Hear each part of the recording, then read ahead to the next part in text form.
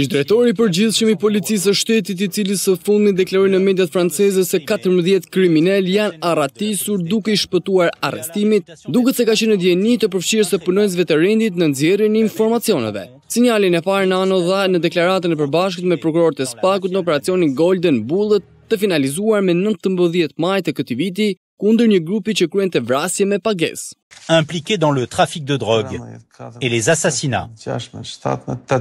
18. Në atë kohë, Nano apeloi agjencitë ligjzbatuese për të zbuluar dhe për të ndëshkuar policët e inkriminuar.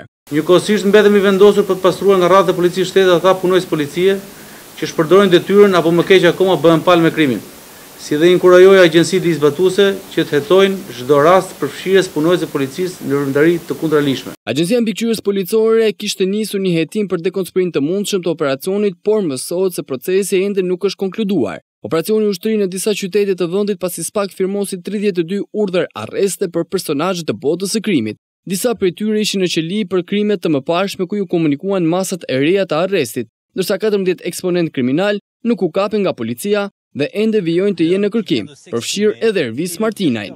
Të akuzuarit e grupit sipas SPAK dhe policisë kishin dhënë dhe marrë porosi për të kryer vrasje, plagosje apo rrëmbim të personave. Nga ky operacion, u zbardhën disa ngjarje kriminale, që kishin mbetur ndër vite pa autor, ndërsa në pranga përfundoi edhe shefi i krimeve në Lezhë. Prova kryesore në duart e hetuesve ishte dëshmia e të penduarit të drejtësisë Nuredin Dumani, i cili akuzohet për disa vrasje të ndodhura viteve të fundit.